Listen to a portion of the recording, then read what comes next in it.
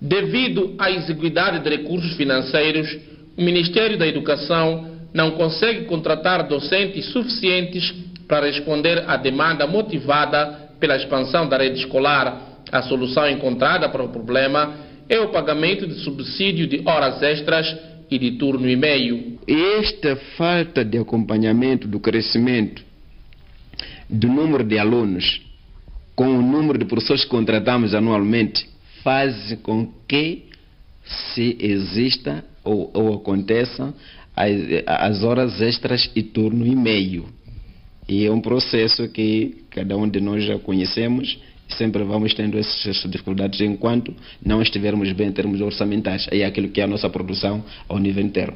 O diretor provincial de Educação e Cultura diz que situações de morosidade no pagamento dos subsídios de horas extras e de turno e meio vão persistir, apesar do governo do Niassa estar a trabalhar para solucionar o problema. Como, tem, como sempre tem tido a paciência, conte conosco.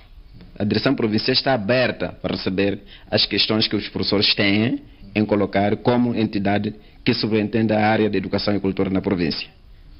Sempre vamos comunicando aquilo que é possível para tranquilizar os professores. Não estamos a fazer uma publicidade no sentido de não, não trazer os problemas que têm. Não, não é isso. Mas estamos a dizer juntos vamos resolver o problema, tendo calma e sabendo, colocando as questões, colocar as questões a, na devida altura quando eh, greve não ajuda nada. O subsídio de horas extras e de turno e meio foi institucionalizado com o intuito de satisfazer professores que excedem a sua carga horária devido à entrada crescente de alunos no Sistema Nacional de Educação.